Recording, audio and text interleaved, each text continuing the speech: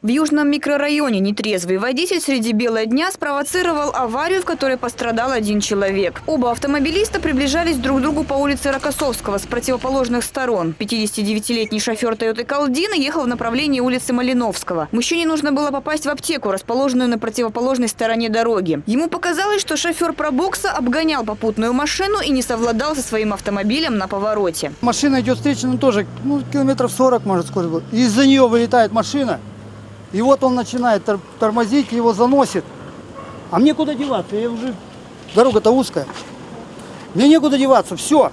Я свой крикнул только «Держи!» Супруга водителя была госпитализирована. Женщина ушибла ногу и травмировала грудь. Виновник ДТП заявил, что причиной аварии стал выехавший на его полосу внедорожник. Тиранчик какой-то черный. Ну, Номеров ничего не... Ну, как я могу? Я, я просто ехал, вот она выскакивает, получается, обгоняет кого-то. И прям вот он я. Ну, а что мне делать? Ну, Мне в лоб, мне уже мужик говорит, когда, ну, с.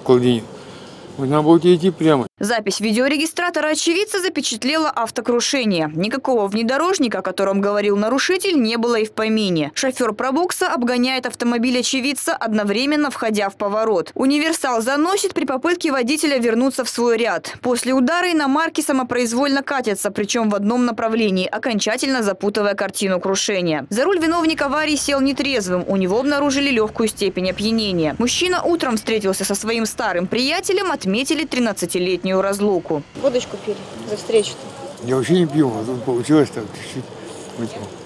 Чуть-чуть это сколько? Ну, пару рыбок выпил точно. Я так вообще не выпиваю. От окружающих мужчина утаил, что болен открытой формой туберкулеза. Об этом полицейские узнали только по приезду в отдел. Необходимо было установить личность водителя. В базе данных было указано, что горожанин стоит на учете в тубдиспансере и был судим. С места происшествия Анна Карпова и Виталий Векслер.